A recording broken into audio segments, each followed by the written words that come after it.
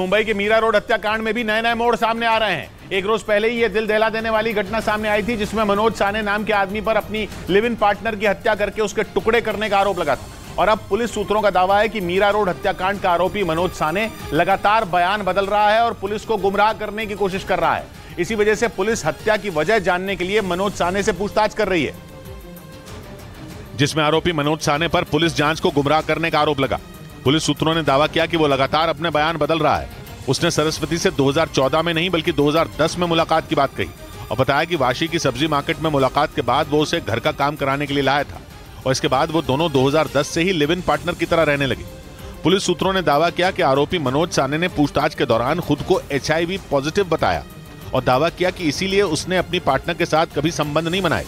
अब पुलिस उसके HIV positive वाले बयान की सच्चाई जानने के लिए मेडिकल टेस्ट कराएगी। इसके बाद पुलिस सरस्वती का भी एचआईवी टेस्ट करा सकती है जिससे उसके बयानों की सच्चाई का पता लग सके। क्योंकि उसके इससे पहले पुलिस को दिए कई बयान भी गलत साबित हुए हैं।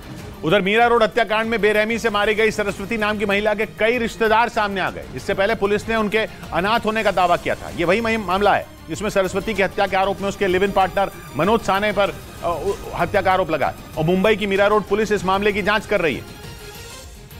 जिसमें मुंबई पुलिस के सामने कई महिलाएँ पहुँची जिन्होंने खुद को सरस्वती की रिश्तेदार बताया जबकि पुलिस ने हत्या की वारदात सामने आने के बाद सरस्वती को अनाथ बताया था। लेकिन अब तक पुलिस के सामने तीन महिलाएँ आ चुकी हैं और इन तीनों महिलाओं ने खुद को सरस्वती की बहन बताया जिसके बाद पुलिस ने सरस्वती को अपनी बहन बताने वाली इन तीनों महिलाओं के बयान दर्ज किए। ये तीनों महिलाएँ खुद ही पुलिस स्टेशन पहुँची और अपने आप को मृतका सरस्वती की बहने बताया। जिसके बाद मुंबई पुलिस इन महिलाओं के बयानों की भी जाँच कराने की तैयारी कर रही है। इस बीच मीरा रोड हत्याकांड की जाँच कर रही मुंबई पुलिस को हत्या के आरोपी मनोज साने और उसकी लिव इन पार्टनर सरस्वती की शादी होने की जानकारी मिली। पुलिस को सरस्वती के शव के टुकड़े मनोज साने के मीरा रोड वाले फ्लैट से मिले थे और अभी तक पुलिस इस मामले में सरस्वती को उसका लिव इन पार्टनर मानकर जाँच कर रही थी। लेकिन अब पुलिस के सामने खुद को सरस्वती की बहन बताने वाली तीनों महिलाओं ने उन दोनों की शादी होने का दावा किया।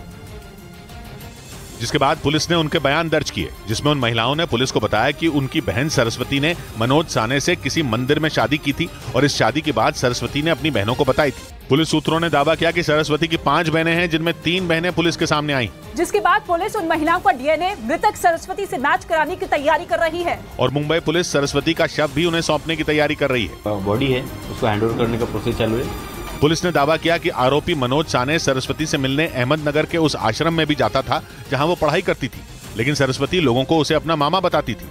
इसीलिए उसने शादी के बारे में भी किसी को नहीं बताया। वहीं पुलिस सूत्रों ने दावा किया कि मीरा रोड हत्याकांड में आरोपी मनोज साने अपनी लिव इन पार्टनर सरस्वती के साथ मारपीट करता था।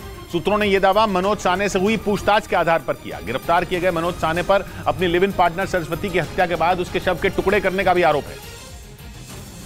और इस मामले में सूत्रों के मुताबिक पुलिस को पता लगा कि आरोपी मनोज झा ने अपनी लिव इन पार्टनर सरस्वती को पीटता था, जिसके बाद पुलिस ये पता लगाने में जुटी है कि क्या सरस्वती ने अपनी बहनों को भी मारपीट की बात बताई थी, क्योंकि पुलिस सूत्रों का दावा है कि सरस्वती अपनी बहनों से लगातार फ़ोन के ज़रिए संपर्क में थी।